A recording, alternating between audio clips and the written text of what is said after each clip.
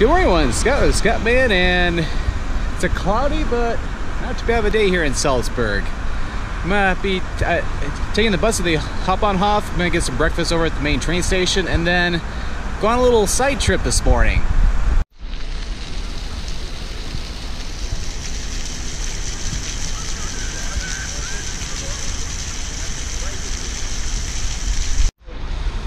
All right, made it to the main train station, so I'm gonna go buy a ticket really quick for the S1 and should have time to get breakfast. Train, the train I'm gonna board is gonna leave at eight o'clock.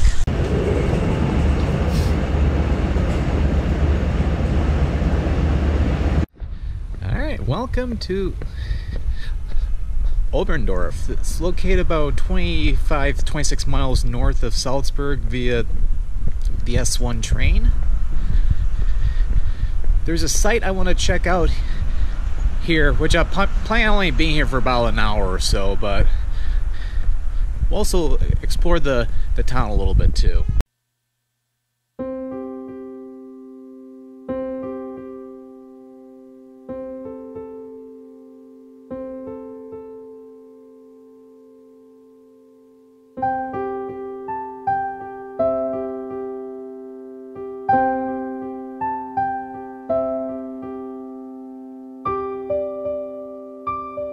Although it's cloudy out right now, this is beautiful. Like you, can see the the mountains way off in the distance, and, it, and we're walking along the Salzach River, yep, same river which comes from Salzburg. And a little fun fact: on the other side of the river, that's Germany. Because yeah, at, the, this point of the river, this is where uh, the river divides Austria on this side and Germany over there. And there's a couple bridges one over there and another one over that way which you can take to walk over the over to Germany or vice versa.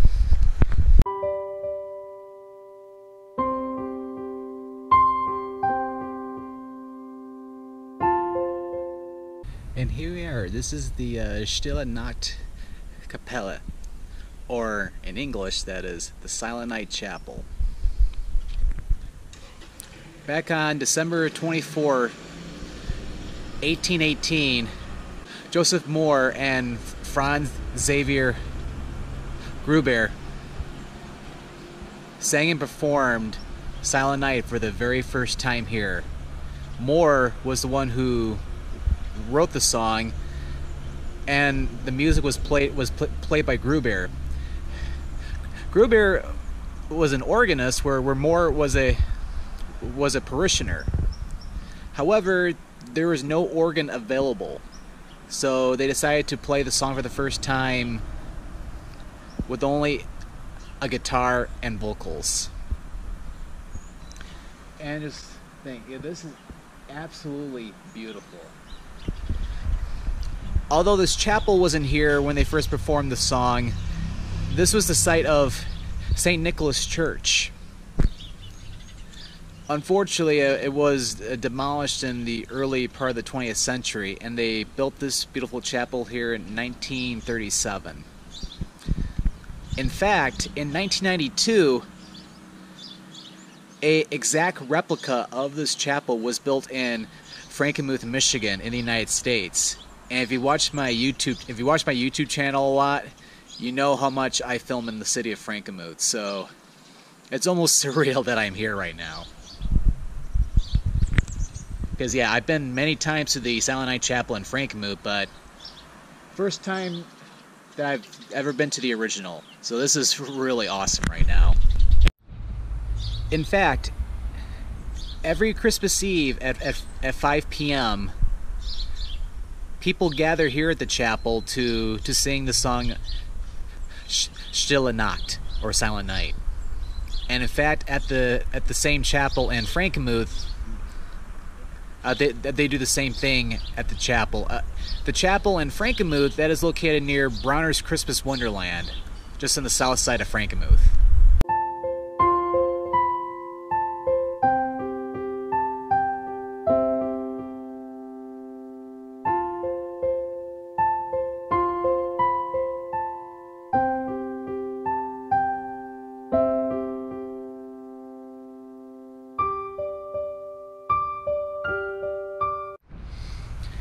But yeah, still can't believe I've finally made it to the original Silent Night Chapel, especially with all the times I've been to the to the to the replica in, in Frankenmuth, all my different trips to Frankenmuth.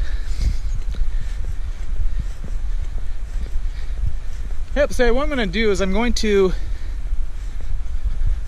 walk briefly across into Germany and then back over to Oberndorf, and then I need to get to the train station and go back to Salzburg.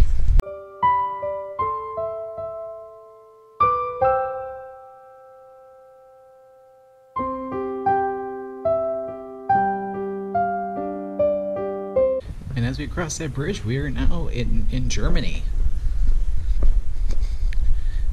But this is the this is the uh, the town of Laufen. The town is paired with with Oberndorf. However, the two towns were separated into different countries after after the time when uh, Napoleon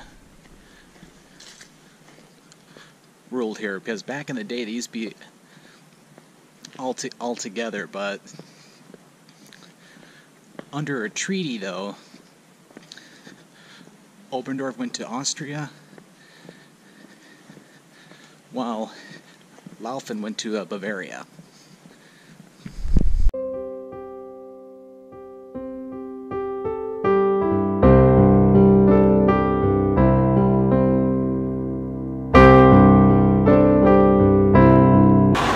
And now we're back in Austria.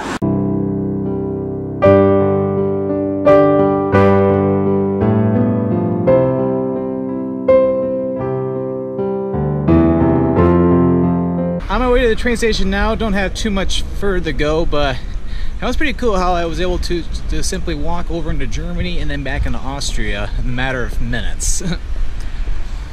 with the with the Schengen zone, it's like I, I, I didn't even have to show a passport or anything like that to cross the border and back.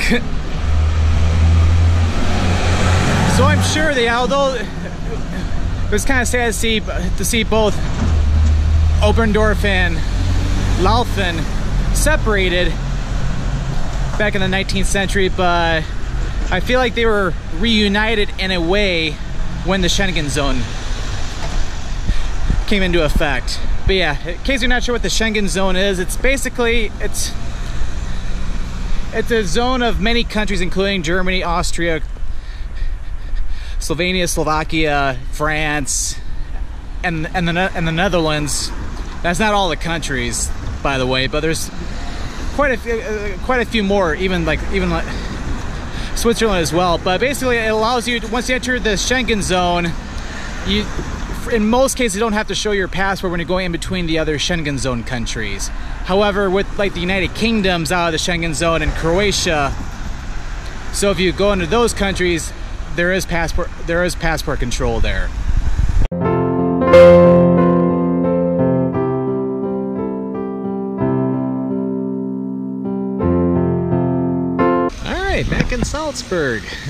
Back here at the at the uh, uh, main train station. And I enjoyed Germany so much, and I got to see so little of it this morning that why not go back? So, what I'm to be doing for the rest of it today, although it's kind of cloudy and might rain, uh, we're going to be making a day trip over to uh, Berchtesgaden.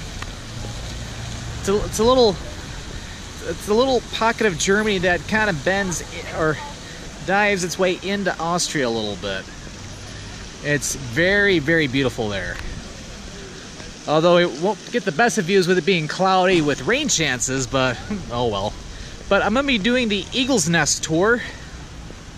So it's got to go to where bus 840 boards, which is at platform or stop G, which should be I was told by the TI it's over at stop, yeah, it's G. It's in this general area.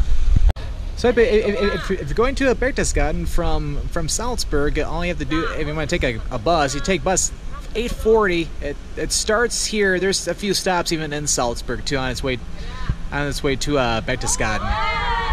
Bus 840 comes over here, and if you look at the times, they, they got plenty of, of stop op opportunities, and it shows all the different. Oh, that's wrong bus. it shows all the different stops it makes. To board the bus, uh, we just pay we we pay the bus driver the, the ticket, and then or or pay the bus driver for a ticket, and then it'll take take us the rest of the way. So, so the bus stop for eight for bus 840 is just over there, and and then where is that related to the hop on hop? It's right over there.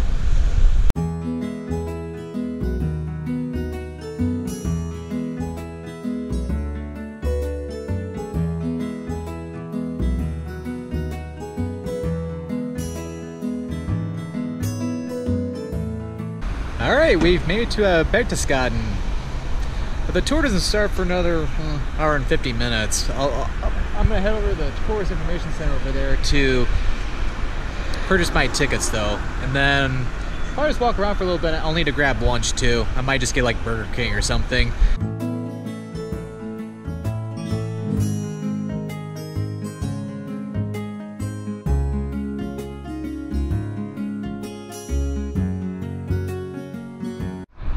All right, just uh, just paid for the uh, uh, for the Eagles Nest historic tour. I have an hour and a half before I have to come back over here to to meet with the tour group. So, yeah, just yeah, just learned that it's a holiday here in Bavaria. So not a lot of things are really open, but it's not really raining right now. So I'm just gonna walk around and explore a little bit.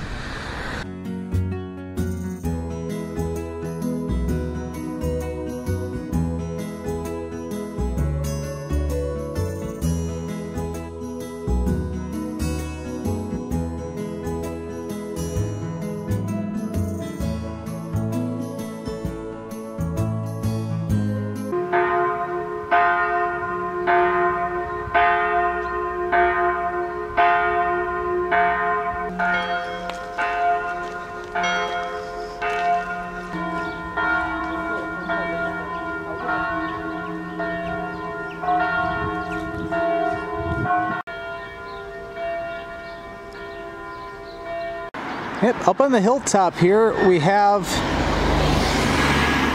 uh, the main town area. It's really nice.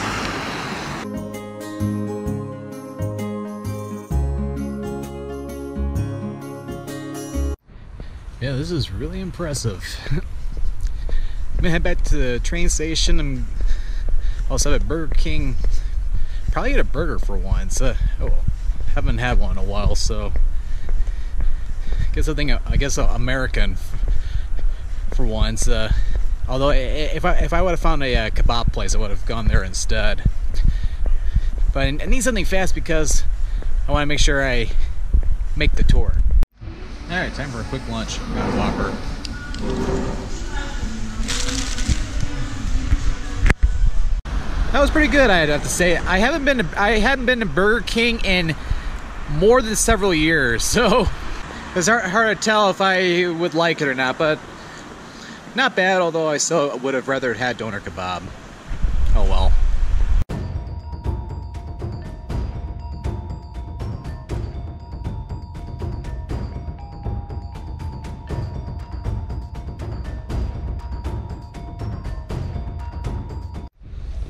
Alright, gonna be getting ready to get on the bus shortly to go up to the Eagle's Nest.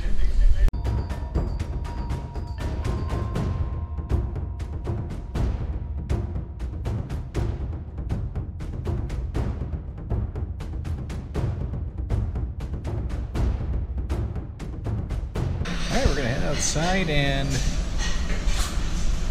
not I won't talk too much out there just because it's probably gonna be really windy and cold.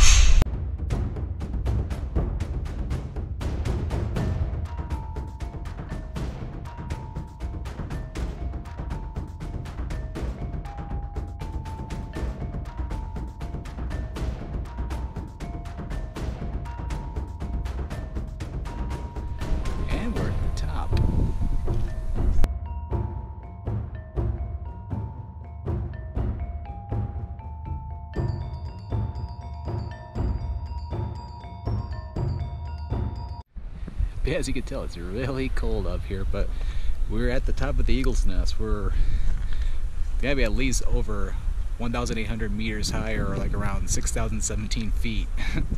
this is amazing. I should probably go back down, starting to sprinkle a little more.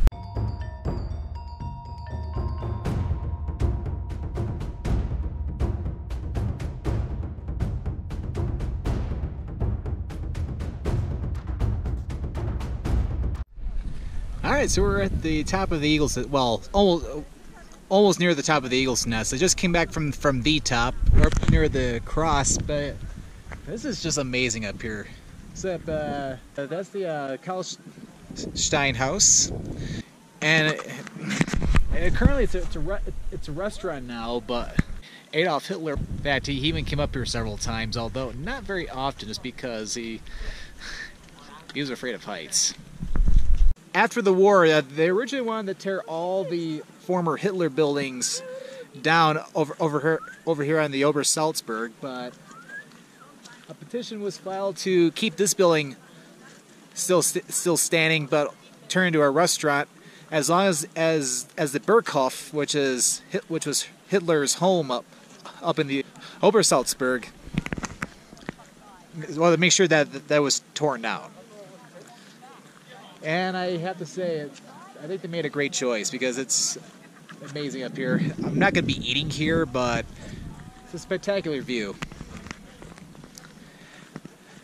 But yeah, as a matter of fact, I'm here on a on a guided tour, which started back down uh, uh back down in uh, Berchtesgaden.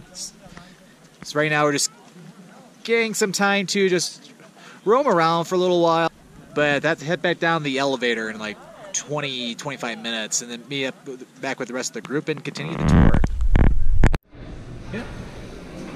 So, we're inside one of the old rooms here. I gotta get back downstairs momentarily, but really quick, I.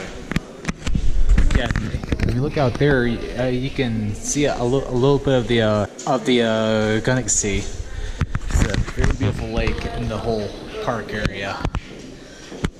But yeah, yeah, this started out as a tea house. It was built in 1937. In 1952, several years after after the Nazis were defeated, it was open to the public.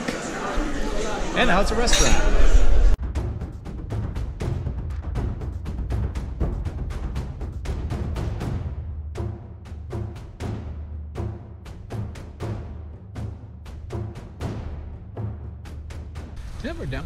The documentation center right now. You can see Eagles Nest all the way up there. They all, all the information inside in German, but they have pamphlets here to where you can read the English versions. But yeah, the bunkers are kind of closed right now. You probably saw the construction, but it's like, yeah, everything's currently uh, closed down by, uh, there's about a few miles of bunker systems underneath here, which is very interesting.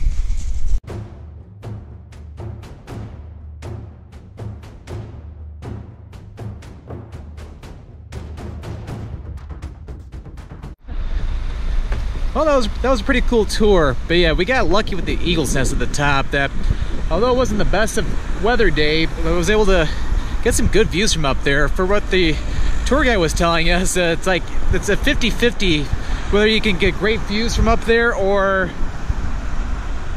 I was gonna try to see if I could catch the early bus back to Salzburg, but yeah, it's, it's, it's departing now.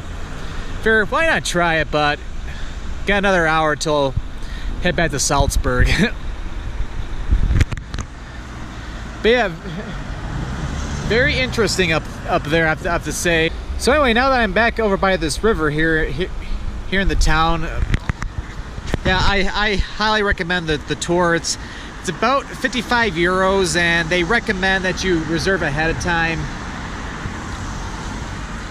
But uh, but you pay you pay in, inside the tourist information center just before the tour starts, and it, it takes up to the to the Eagle's Nest. Uh, although, yeah, we normally don't go up there first, but they did just because they knew that the visibility was going to get a little bit iffy. Let's just say that. So they kind of switched things around. We went to the Eagle's Nest first, and then to the documentation center. But of course, because as you saw, the bunkers were under construction, we didn't go in there, unfortunately, because that, that would have been pretty cool to check out. But yeah, as I was trying to stay up there, it's it's interesting how how they built those bunker systems underneath a lot of the buildings that were there until they were mostly uh, destroyed by by Allied forces in, in 1945.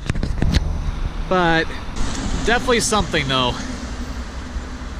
Like the whole area of uh, of uh, Berchtesgaden and, and also the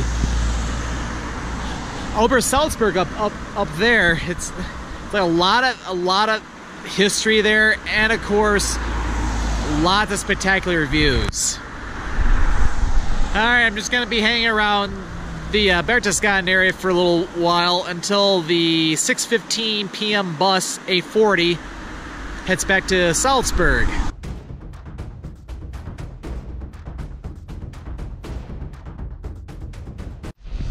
All right, back at the main train station. I'm gonna head back into I'm gonna head back into town first. I'm gonna take one of the city buses, get something quick to eat, and then I'm probably gonna call this a video. I'm enjoying this. Gotta eat as much doner kebab as I can while I'm over here. Oh, that doner kebab was so good. Although I got one in the in the non-durum form this fun, this time, but this is my third one on this trip. I might consider getting one more, maybe near the end of my trip. We'll we'll wait and see though. But yeah, it's such an awesome day today. Going to Oberndorf to see the Stille Nacht Kapelle or Silent Night Chapel, and then head over to uh, Berchtesgaden and got to go up to the Eagle's Nest and do the tour. That was pretty cool. Alright, so I'm going to be leaving Salzburg in the morning. So hope you enjoyed this vlog today. If you want to watch more of my vlogs, if you uh, click on this video link over here. Uh, thank you for watching, and this is Scott or the Scott Man signing out. Just in front of Mozart's birthplace.